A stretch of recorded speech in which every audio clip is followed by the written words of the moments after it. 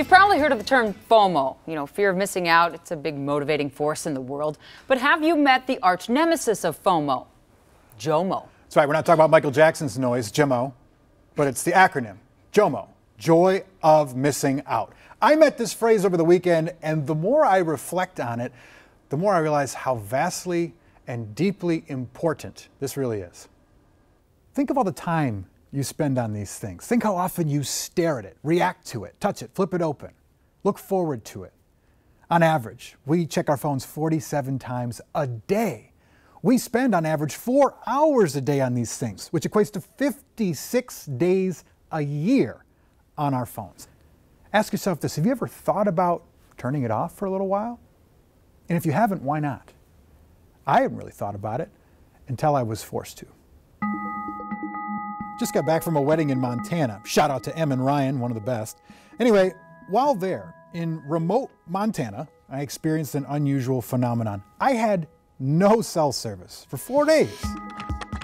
You laugh, but there was legit withdrawal for at least a day. No emails, no internet, no weather updates, no tweets, no YouTube, no Fortnite, no good social media, no bad social media, no media. But then the symptoms subsided. Soon I was looking up at this and down at this. There were people, like awesome people I got to know, like Bill and Chris, who I got to know because we were all present and not distracted. This, as I look back, was pure, unfettered JOMO. JOMO is FOMO's underappreciated doppelganger, just to say it's the joy of missing out instead of the fear of missing out. Catherine Price is a New York Times contributor, a science journalist, and author of five books, including her latest, How to Break Up with Your Phone. When you spend all your time constantly refreshing and checking, you're teaching your brain to release constant spritzes of dopamine, which is a brain chemical that tells us when something's worth doing again. So checking your phone is very self-reinforcing. And then the flip side is that once you activate this cycle, which by the way is the same system that's activated in addictions to drugs and alcohol and things like gambling, uh, then you actually begin to release stress hormones when you can't fulfill that craving, when you can't check. There are actually many similarities between slot machines and our phones for example, the bright colors, the noises, the sense of anticipation, the unpredictability, which our brains find absolutely irresistible. And the important thing there is to recognize that slot machines are widely considered to be one of the most addictive machines ever invented. And everything in the slot machine is designed to get you to keep playing that slot machine.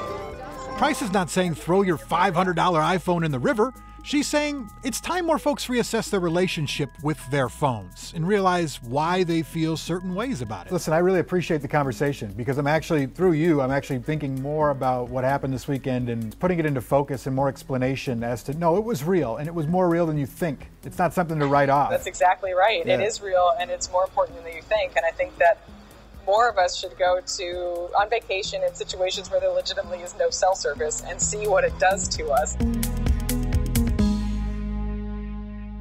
It was a mental cleanse that I didn't expect and I really can appreciate. And I've never thought about it, but when you refresh your Twitter or you hear the beep, the ringing beep from a text or a fresh email or a tweet or whatever, it does the same type of thing as a slot machine. You don't have money on the line, but you have maybe a compliment on the line or some negative feedback or just a conversation. Attention is on the line. Yeah, a like. A like, a whatever. Think about it. And you, yeah. the sounds and the looks. Anyway, uh, she challenges people to do this thing called the 30 day challenge. It's a phone breakup, right? It's not putting your phone down, it's just changing your habits. You can go to phonebreakup.com and she has resources for you on how to do this gently, which we kind of joke about, but think about it, it's kind of serious. Yeah, she's encouraged me to buy an alarm clock. That's the only excuse I have left for why it's around me all the time. The, the, the phone? Yeah. Yeah, good deal.